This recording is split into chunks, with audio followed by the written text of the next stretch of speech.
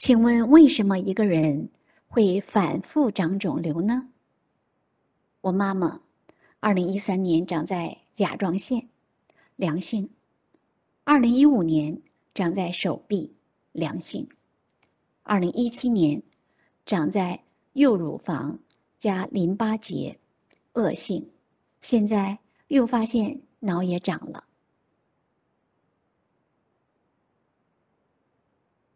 我已经反复看了几遍您的直播视频，也看了一些过去的讲座，已经完全了解与接受原始点的理念、原理，也觉得并不复杂。身为初学者，对于体上痛点的位置、温敷的位置、推压的位置，还需要一些时间去理清。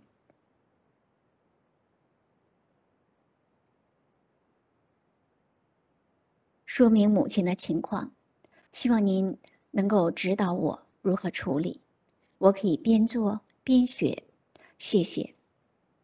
母亲六十八岁，二零一七年确诊乳癌第三期，转移淋巴结多颗，手术后切除肿瘤及感染淋巴结。二零一八年尾完成化疗、电疗，直至今日。体力尚可以，如常行走、煮饭、吃喝、睡眠都可以。目前情况，视力受阻，被黑影阻挡，发现脑瘤一点五乘一点九厘米。几十年来头痛问题，膝盖痛，行动慢，怕冷。但是温热食物会头疼，请问我应该怎么处理？希望得到您的帮助。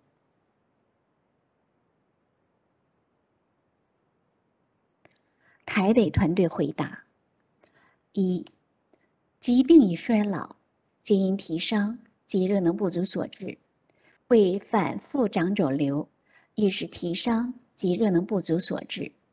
异常形态的肿瘤。非症状，故不是疾病。检查出来的异常形态是属果，也不是疾病的因，所以不是医疗的主要目标。二，原始点医学是通过观察症状来诊断与治疗。首先要辨病情轻重，通过观察有无体力虚弱的病症，若有即为重病，若无。即为轻重症。患者目前虽说体力虽说体力尚可，但行动迟缓，怕冷，且之前经手术及化疗、电疗，体质已经严重伤害，属轻微重病，建议仍应以热源为主，按推为辅。具体处理上。可先于体伤位置用温热水冲洗，或电热器持续温敷，等皮肤温暖，再稍微用力将姜粉或姜粉泥做大面积涂抹，至干掉为止。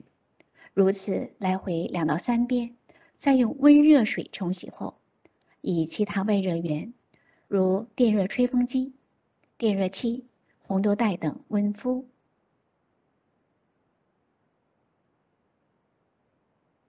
或不经温热水冲洗，直接用其他外热源温敷。温敷后再辅以按推原始痛点。若按推无法立即改善，应按推患处痛点，即温敷患处。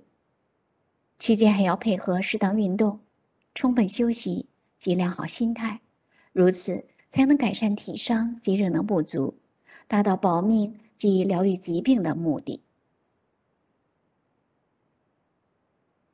三，果不生果，视力、头痛及膝痛等病症与肿瘤并无直接因果关系，可先通过按推相对应之原始痛点，头部、臀部，若有改善，则此疾病是他处体伤所致；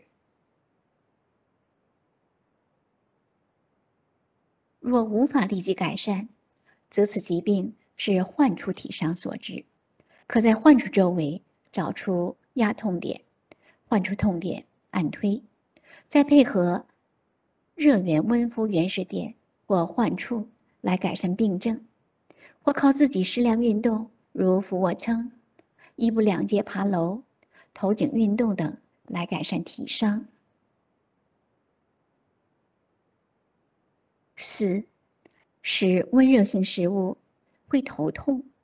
有可能是头部有体伤，可通过按推头部原始点来改善；或是温热性食物药性太强烈，患者无法承受，要先减低浓度，以患者能接受为宜。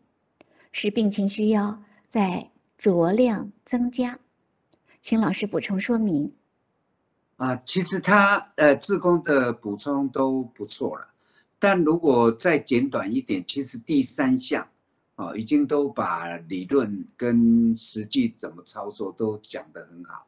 我们来看他第三项的回答，啊，往上页，呃，上一上一页而已啊。对，果不生果，就是从果不生果这里来看，它的所有症状，啊，跟肿瘤没有因果关系，啊，那不管是症状也好，肿瘤也好，它。的因都是由体香及热能不足所致，啊，所以看你是要处理呃是症状呢，还是要处理衰老的肿瘤呢，还是要找出相对的因，也就也就是原始痛点，啊，相对应的原始痛点，那这个部分就要呃呃读者你们提出问题来的时候，要多看视频。哦，就像今天哦，手法，比如说头部应该怎么按啊？那脊椎应该怎么按啊？